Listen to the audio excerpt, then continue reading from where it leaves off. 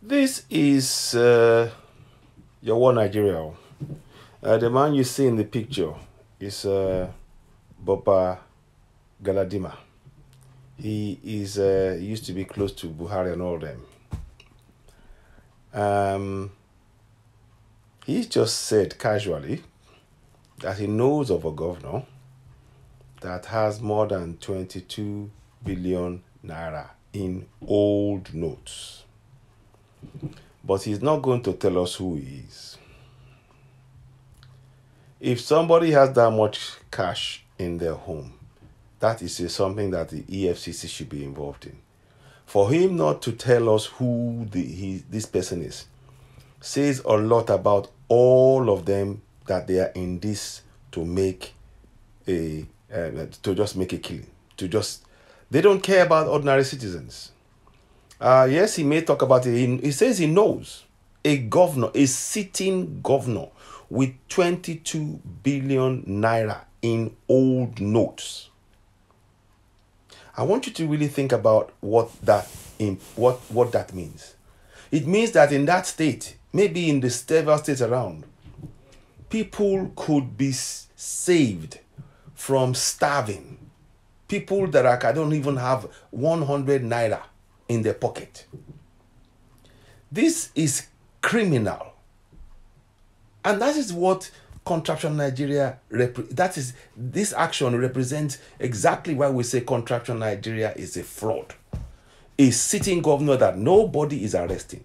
But yet they keep telling you to believe in him, to keep believing in one Nigeria. And it is patently obvious when you've watched this video.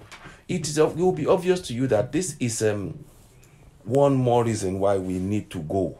We have to go for self-determination. We need to clamor collectively for public, transparent referendum, holding this bunch of crooks to account.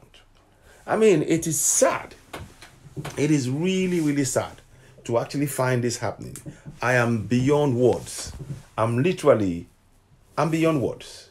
I am looking at this and I'm thinking to myself, yet you tell us to believe in one Nigeria. And one Nigeria. All the currency in their private houses. Agreed. You agree with that? I agree.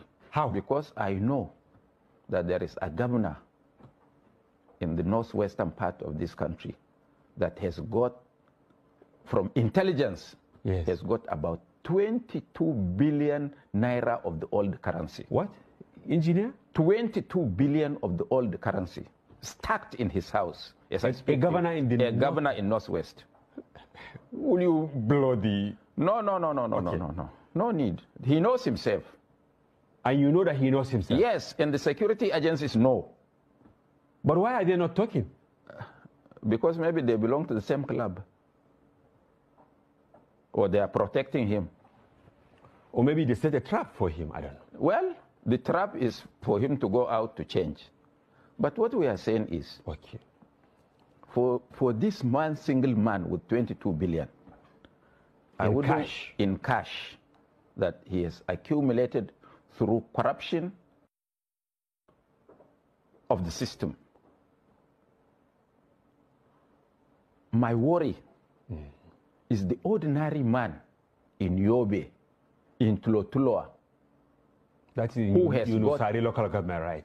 Oh, who has got only 1,000 naira as capital or his wealth.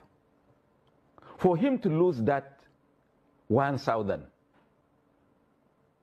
I would rather allow the system to be cheated by one individual because that man's money is legitimate money, That 1,000. that 1,000. Nigeria hasn't allowed a sitting governor to stash away 22 billion naira in his home and nobody arrested. That's your one Nigeria. That's your one Nigeria. We will keep saying it. The only solution is dissolution. You're watching Tuesday Night, the platform where we speak truth to power. Uh, do watch. Let's have